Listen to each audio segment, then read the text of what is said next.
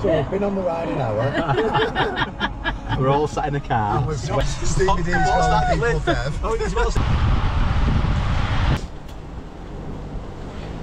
This is not Gran Canaria.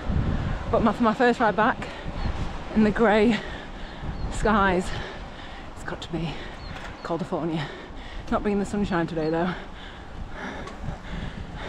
With Stevie, Chantel and Adam.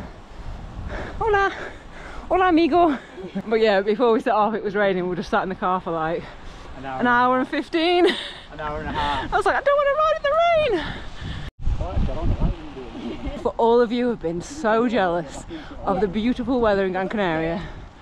I'm back straight into a really rainy and wet ride in the UK. But I'm in Calderdale, so I am happy. That could not dampen my excitement for being back in the UK because as much as I love travelling away, seeing new places, new climbs, I love the UK's climbs. It's beautiful, like, I can't wait for summer. I cannot wait, I cannot wait! In the middle of Calderdale. The question I've got is, who's getting the bus here? who's getting up on the shopping? Maybe they're for the sheep. Maybe. Say? Like, I've watched the field, please. Oh, It's pretty steep. it's one where you can just get carried away. What's at the bottom, Stevie? A reservoir. How do you call them? A Reza. A reza? Reza. Reservoir. A Reza. reservoir? A, res Reservoir. A reservoir. a reservoir? That's what A wire? Reservoir. What do you call them? Relatives. Go on, do you Why? want? Get down. Do one. That's no way to talk to your good friend Katie. Gran Canaria might have the weather, but they do not have this. Are you ready? Oh, they're all leaving. Look at them. They've all got two little ones each. So Chantal is telling us about a place in London called Drumsheds. It's for people that want to go out raving, but like the bed. Chantal, when does it start? 12 o'clock in the afternoon. Shots at Have a, have a 10.30. big breakfast. Yeah, and then Go raving. dancing all day. And you can get the tube home and then get to bed for a full night's sleep. and now we are on my favourite road of this whole route. This this route is worth it for this road. So the Radio 1 one, we went to It's because it feels so much like the Dales. You know I love the Dales. I know I've done this route a million times and I've filmed it a million times, but every single time I just love it. And this is the kind of the only route that I wanted to do after having so much fun in Gran Canaria because I just I love this so much.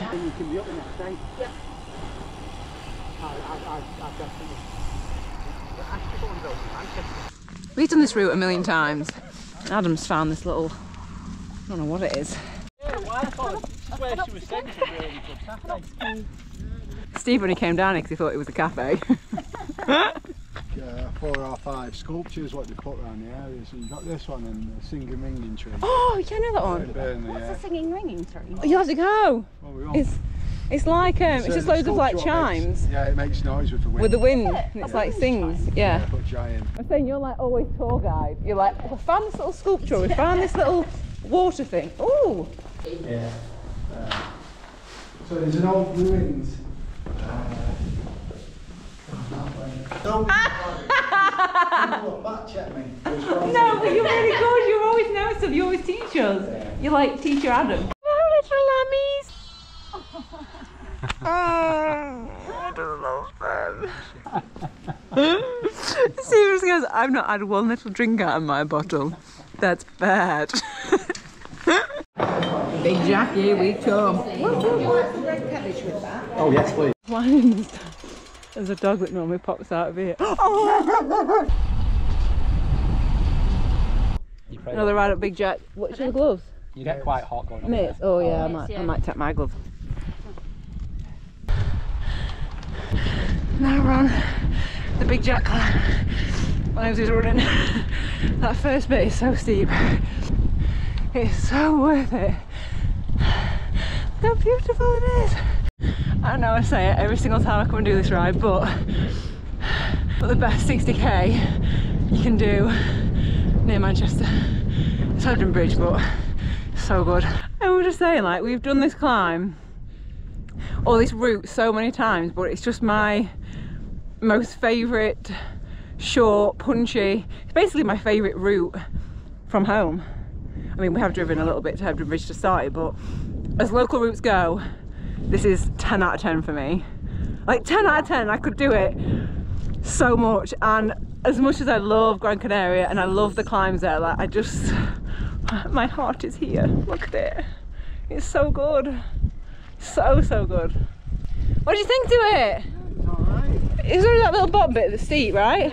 It wasn't anywhere near as bad as I expected. It looks way worse in the distance and then you're on it and then it's like this. And look at the view and we go down there and we have a lovely long descent now. Woohoo! And then today it's just kind of like a little, I guess a warm up ride because tomorrow, well tonight I need to pack up my bike because I'm going to Pirate Bay tomorrow. So that'll be very exciting but I'm not a fan of cobbles. I'll climb hills all day, cobbles. It will be a challenge. It will be a challenge because I'm riding uh, an event there. Look how beautiful it is. Look Well, I'll let you know.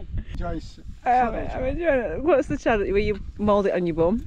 so you plug it in and it heats up and you say, I imagine it's lovely in winter. The saddle heats up. I know, it's just once. It's just for the moment. Shame.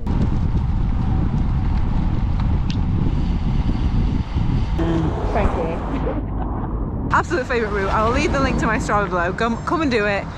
Head up to Hebden, park up, and oh, I thought that was a full bag. I forgot. Right, so I'm gonna head back now. Pack everything up for Pirate Bay.